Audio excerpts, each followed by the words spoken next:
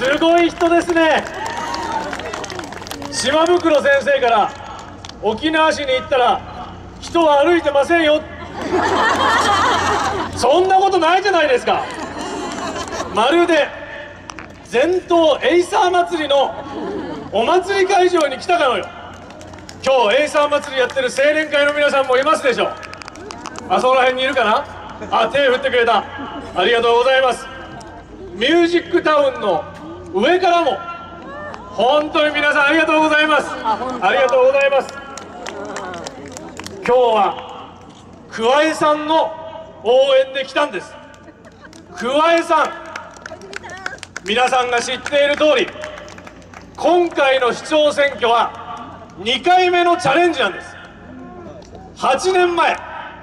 その時に市長選挙に挑んだけどその時は負けちゃっただけどもあれから8年間決して桑江さんは指を加えて8年間を過ごしてきたわけじゃありません。力を蓄え仲間を蓄え沖縄市の未来を作るという思いを蓄えに蓄え8年間過ごしてきたんです。そして桑江さんは運がいい。なぜ運がいいのか。沖縄市の未来を作りたい。なんとか子どもたちが明るい未来を考えて平和と繁栄を味わうことができるような沖縄市を作りたいと思ってもその時日本経済の状況が良くなければ十分その波に乗ることができない。だけど今日本の経済がようやく上向き始めてきた時に8年ぶりのチャンスを得たというのはやっぱり桑江さんは運まで加えて持ってきた。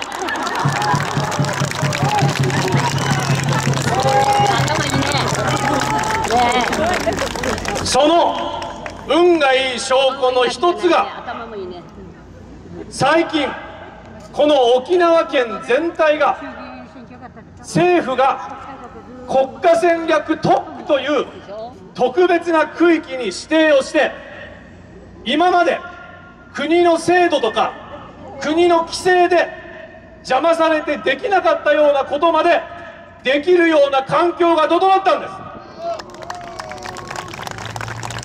観光客もとうとう650万人を超えた。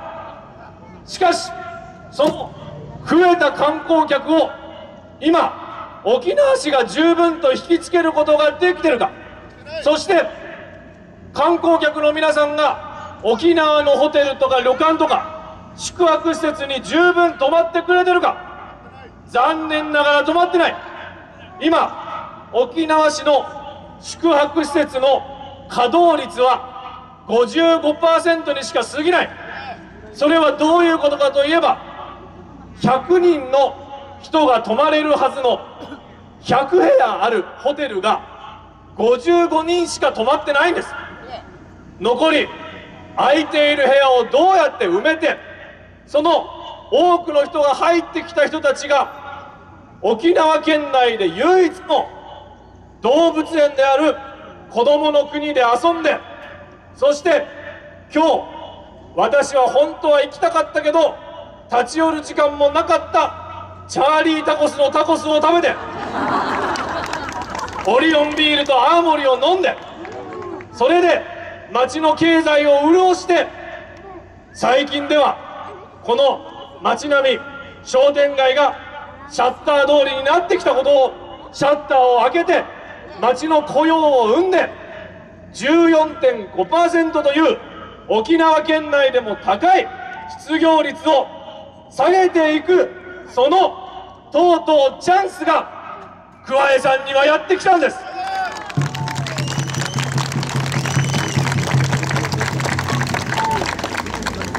あと3日ですよ。皆さんあと3日。私が今回沖縄の沖縄市に今日も国会開会中だけど許可をもらってこうやって沖縄市まで来たのはこの選挙桑江さんが楽勝だからですか？違うんです。結構厳しい戦いやってんです。実は2週間ぐらいまで桑江さんと相手の候補とどういう状況かっていうものを調べたんです。そしたらデータを取るたびにだんだん差が詰まってきてとうとうこの残すとこ3日の今ようやくどっちが勝つかわからないところまで持ってきたんです。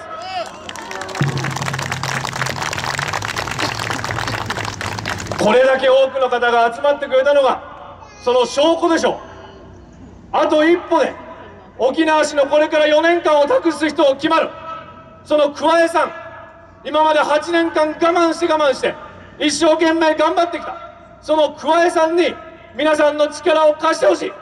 そして沖縄市の経済を立て直して子どもたちが将来このミュージックタウンから将来の DA PUMP や BEGIN やそして ORANGE RANGE また安室奈美恵さんこういった将来のタレントがこの沖縄市のミュージックタウンから生まれてくるような街を作らなきゃいけない。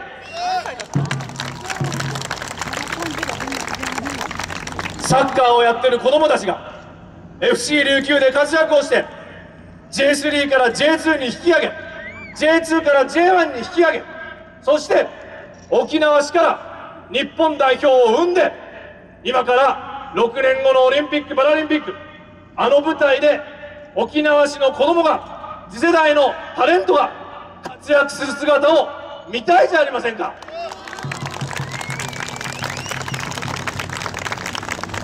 そういった街づくりをするために私たち全力で桑江さんを皆さんの力で勝たせてもらえるように全力で残り3日間戦ってまいります。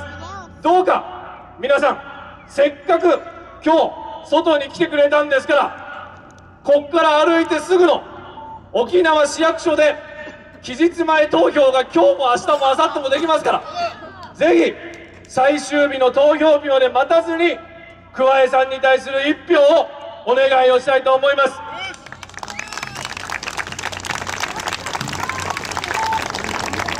お母さん約束してくれました？ありがとうございます。僕も約束してくれる？まだ投票できなかったね。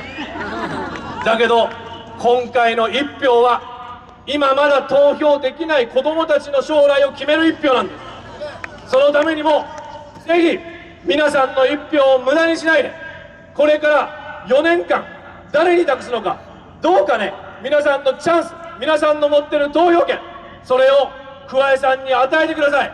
そしてこの沖縄市がもともと持っているチャンプルー文化いろんなものの良さを取り入れて沖縄市の魅力につなげていって新しいチャレンジがどんどんどんどん出てくるような沖縄市の経済を作ろうじゃないですか。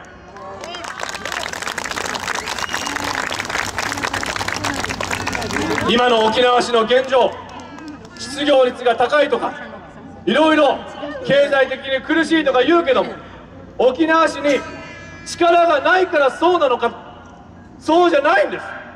沖縄市は力があるんです。力があってやりたいと思う。その気持ちと意思さえあればそれが叶うんです。桑江さんが待機児童をゼロにしたい。待機児童ゼロ。今は待機児童200人を超えてますよ。だけどこれが無理だと思ってる人私の地元の神奈川県の横浜市を見てください。待機児童は200人どころじゃなかったんですよ。1000人を超えてた。その1000人を超える待機児童が本当にゼロになったんです。やればできるんです。そして日本が抱えている大きな課題の少子化人口の減少。沖縄県だけ別なんです。人口も増える。そして出生率は日本で最高。そういう沖縄県の力がもともとあるんです。そして若い人たちも沖縄は自分で会社を起こす確率この企業率日本で最高なんです。それだけ自分たちで意欲を持って会社を起こしたい人が会社を起こせる。そういう環境をこれからもより作っていって新しいものがどんどん生まれるようなそんな沖縄市を作っていくためにこれからもどうか残り3日間みんなで必死に桑江幸男さんの応援をしてください。私は今回この街頭演説1回のためだけに沖縄県に来てそして今からまた飛行機に乗って帰りますから。残念ながら投票できないのでね。沖縄市民の皆さんここから沖縄市役所行って皆さんの一票を桑江さんに投じてください。そしてその一票を投じる沖縄市役所をこれからまとめ上げていく男桑江幸男さんが4月の27日オリオンビールとチャーリータコスで祝杯を挙げている姿をテレビを通して私たちに見せてください。残り3日間の皆さんの絶大なる桑江さんに対するご支援もお願いを申し上げて私からの応援と変えさせていただきます。多くの皆さん最後までのご清聴本当にありがとうございました。ありがとうございました。ありがとうございました。